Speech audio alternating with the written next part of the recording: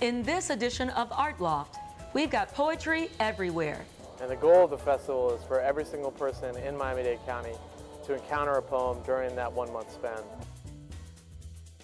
Poets who read for presidents, My little horse must think it queer to stop without a farmhouse near. and a poet reflects on the country she fled. Being a poet, you don't need a leave of absence from anywhere.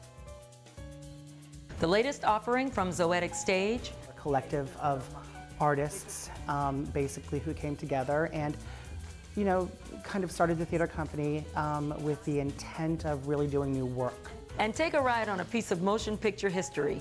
It's all ahead on this edition of Art Loft. Funding for Art Loft was made possible by the John S. and James L. Knight Foundation, Newman's Own, giving all profit to charity and pursuing the common good for over 30 years, Alva H. and Wyline P. Chapman Foundation, and In the Florida Keys and Key West, every night is a spectacular show. And every day is another masterpiece. Hi, I'm Kalyn James, and from the Bakehouse Art Complex, this is Art Loft.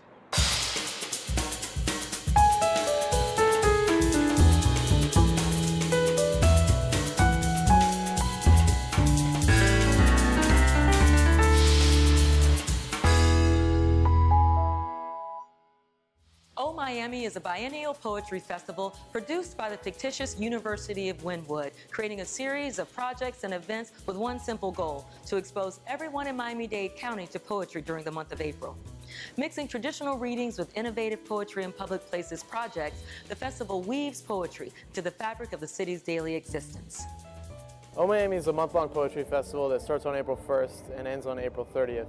And the goal of the festival is for every single person in Miami-Dade County to encounter a poem during that one-month span. We, we fly poems behind airplanes, uh, the advertising banners. Uh, we put poems on lamppost banners around Miami-Dade County. Uh, we put poems on drink coasters that are going to be distributed uh, to restaurants and bars. We're going to have, you know, 20-something events throughout the month.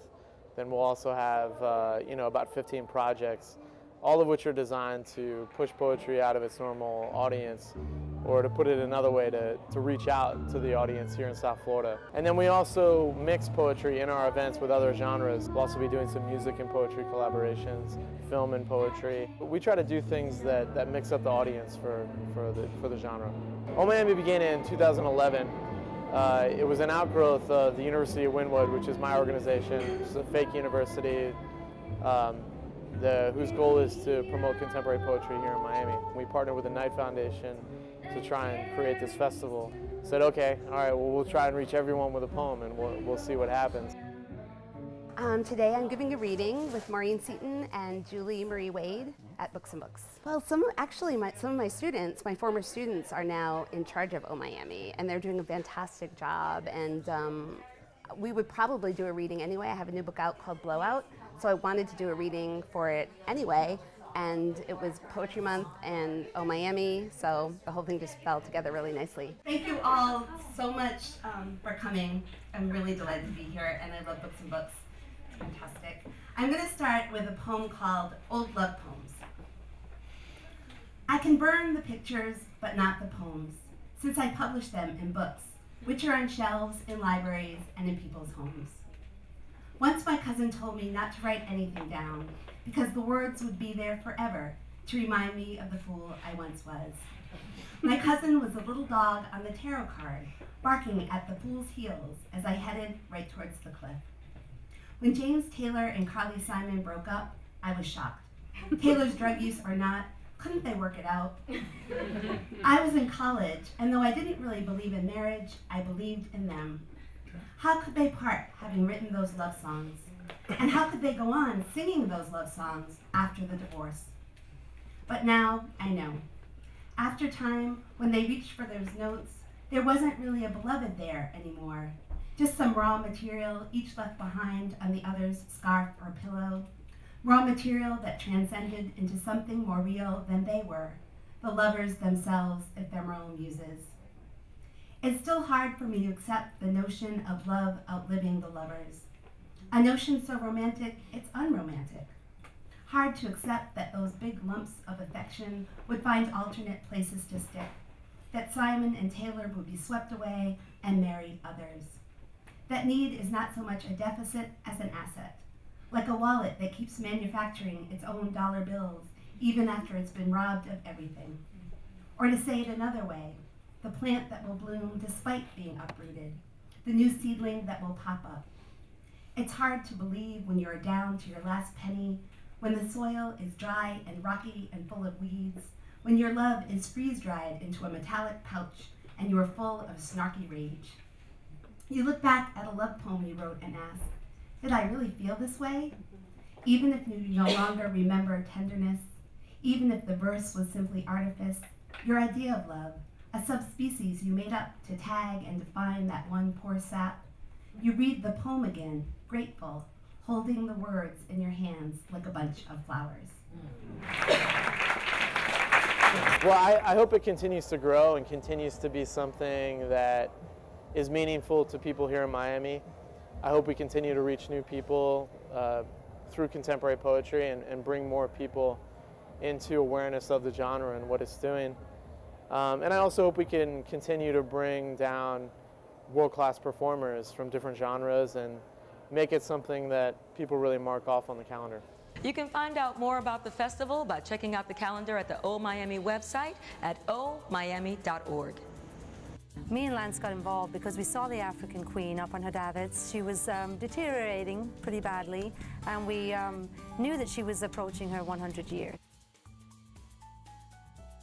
Continuing with our poetry theme, Art Loft does its part to expose everyone to a poem. Here's a classic reading by Robert Frost from the Poetry Foundation's Poetry Everywhere series. Enjoy.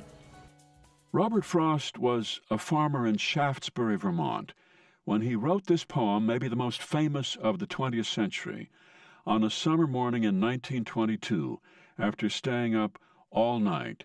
He saw the sunrise and wrote a poem about a snowy evening as if, he said, he'd had a hallucination.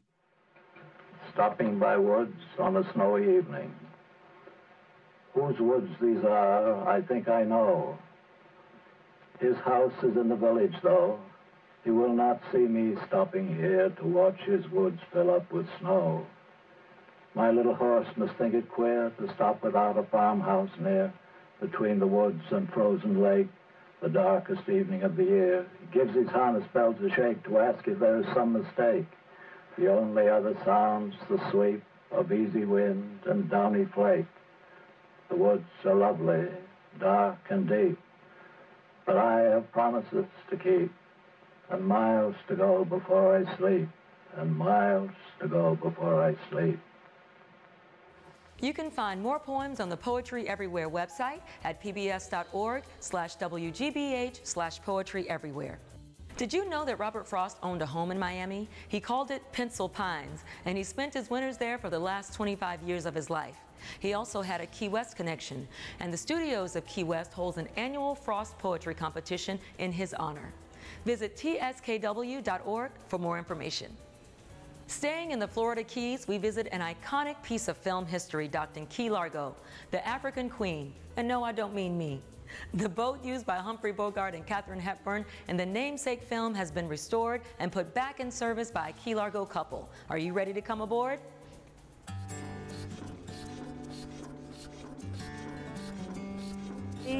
African Queen seems to touch people that be involved with her. Me and Lance got involved because we saw the African Queen up on her davits. She was um, deteriorating pretty badly, and we um, knew that she was approaching her 100 years. So we decided to see if we could restore her in time for like a big celebration. I'm thrilled that Stephen Bogart thought to come down here and support us. Am I going straight or taking a left?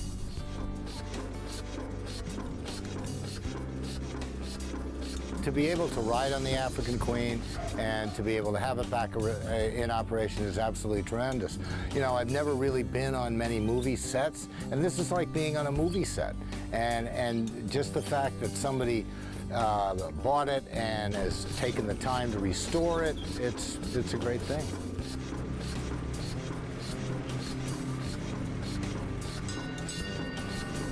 I love old movies and films, and just to see the amount of interest that this boat is still generating, even as dilapidated as she had gotten, um, it was incredible. And now she's back in the limelight again, just like she should be. We're going to take people that come to see her on her, which is the most important thing. And we're going to take it down the Port Largo canals around Key Largo, and uh, we'll do dinner cruises and lunch cruises, even starlit night gazing cruises on her. I think um, restoring the African Queen has firmly sealed the um, tie and connection with the Bogart um, name to Key Largo. Now over a century old, the African Queen is registered as a National Historic Site. And if you'd like to find out more about her or even plan a visit, go to AfricanQueenFLKeys.com. But that isn't the only Key Largo attraction for Humphrey Bogart fans. The first annual Humphrey Bogart Film Festival will be held in Key Largo May 2nd through 5th, and Art Loft will be on hand for that event. But if you'd like more information on the festival, visit BogartFilmFestival.com. Jehovah's Witness is the watchtower. This is something different. If you're nice to them, they just keep coming back. They're like cats. Next, we meet Iraqi poet Dunya Mikhail, who became famous in her native Baghdad for the use of symbolism in her writing. But in the mid-1990s, like many others, Mikhail fled her home country after discovering her name was on Saddam Hussein's list of enemies. Here, she reflects on a cherished remnant of her past.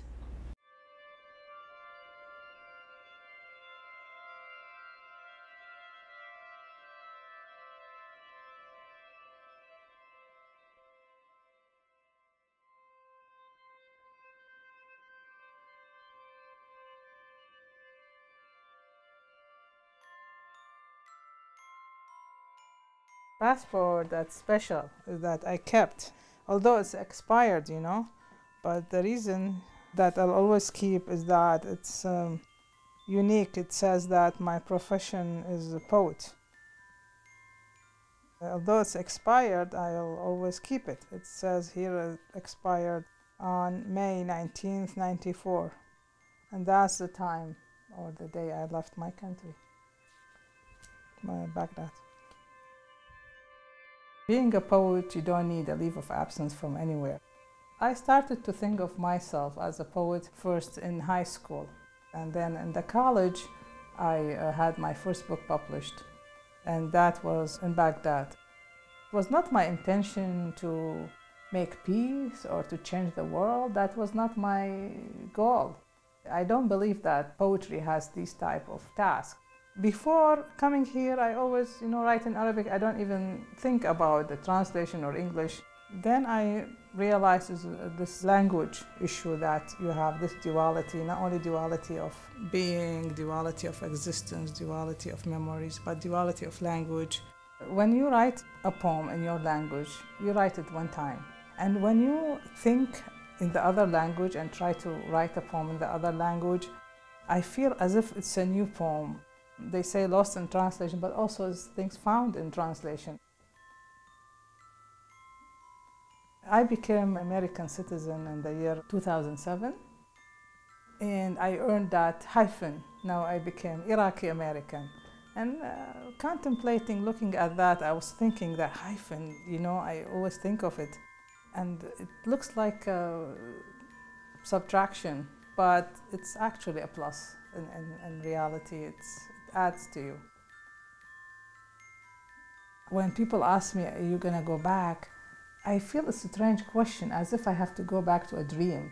And sometimes you feel like, was it you really that you were in that place? Did you see all that?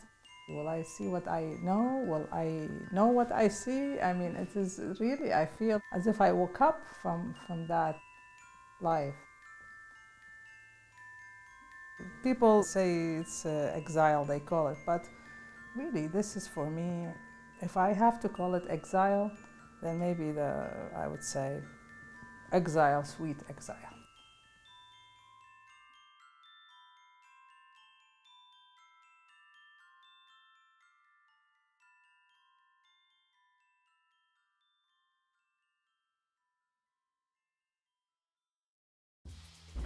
Dunya Mikhail now lives in Michigan and has published five collections of poetry in Arabic and two in English. In 2001, she was awarded the UN Human Rights Award for Freedom of Writing.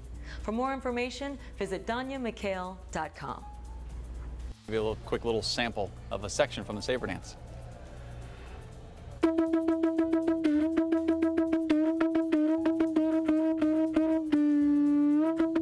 The Zoetic Stage as a theater company is not quite three years old, but their impact can be felt throughout South Florida.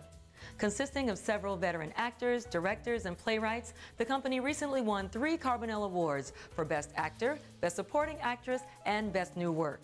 Their latest production, The Savannah Disputation, can be seen through the end of April at the Carnival Studio Theater at the Adrienne Arsht Center. There's no way in heck you can get yourself out of hell, let me tell you. Awake and sing, you who lie in the dust. The play is called The Savannah Disputation by Evan Smith, and it's for Zoetic Stage Company. We're a collective of artists, um, basically, who came together and, you know, kind of started the theater company um, with the intent of really doing new work. But we also like to do exciting, fresh um, plays from the nation's growing and, and most interesting and most important playwrights. I really wanted to pick material that A, people would laugh at, and B, people can think about and talk about. All you have to do is read the Bible and follow God's word. We're Catholic here. Oh, sorry. I play a door to door evangelist, um, Christian, trying to convert Catholics to Christianity because, you know, Catholics are not Christians. Basically, um, she goes to this one house and she convinces the sweet sister to, to let her come back and explain more about her religion. And so my character thinks, oh, I'm going to get one. I'm going to convert someone. So she gets to come back and they have a surprise guest that is there and he and I have a disputation. Jehovah's Witness is the watchtower. This is something different. If you're nice to them, they just keep coming back. They're like cats. I, I chose this play because when I first read it, I was laughing my butt off. I, I loved it. I loved the characters. What scared me about the play that it dealt with religious issues that I wasn't necessarily comfortable with. Um, I'm not Catholic and I'm not um, an evangelical. And those are two particular religions that, that are focused on in this play. I play Mary O'Brien, and she is Catholic, and many years ago, in her relative youth, made some choices that have cemented her faith. The consequences of this is that she is very bitter, tightly wound, frustrated, although she wouldn't admit that but everyone else refers to her as the meanest person in the world. One of the challenges of doing a character like this is not being afraid to have the audience not like you, because the payoff in the end hopefully will be when they understand her. Thank you, you are too. But nice don't save you from hellfire. Being from Chattanooga um, and also being an actress, I moved down here to go to school. The first thing that they told me was, you have to lose your accent, you have to get rid of it. So it's kind of nice to be able to get back into it and do it again. So many people mired in error. Some I people grew don't up know what to believe. in the Bible Belt, so in that respect, it spoke to me because I'm very conscious of that lifestyle because it was surrounding me growing up. Any theater should, I think, be provocative, and by that I mean I would love for people to go home thinking about it and talking about it. It's, it's just a play um, talking about different people and different people's lives and their different people's point of views and how we can learn from that and um, or how we don't learn from that and with humor and with, I think, sensitivity. At the end of the play, I say, we're talking about our house and heaven on earth. And I say, we can come back here and take showers. Bury me with shampoo. It'll make sense when you see the play. I am very friendly to my friends. Zoetic's new season has just been announced and will include another new play by co-founder Michael McKeever.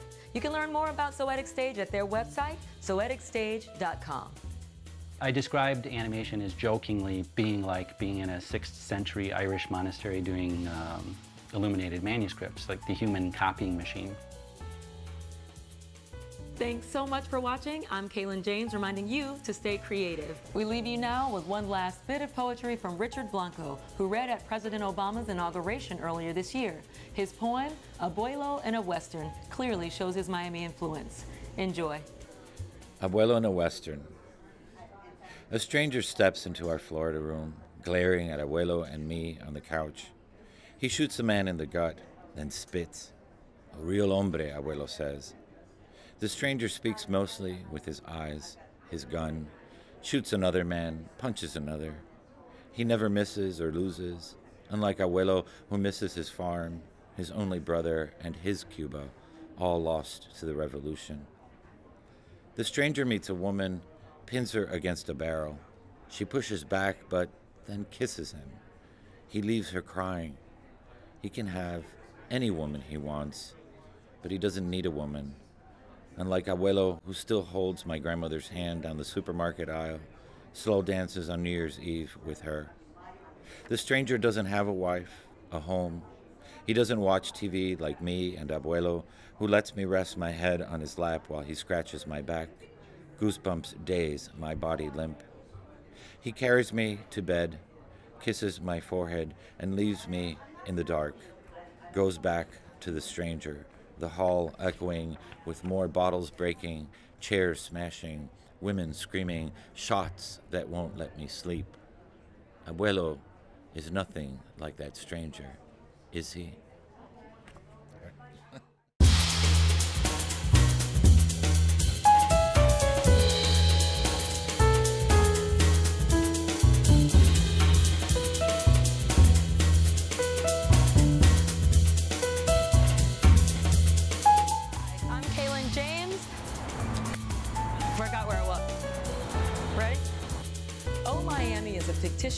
No, it's not. It's, biennial. It's biennial. biennial. It's not fictitious.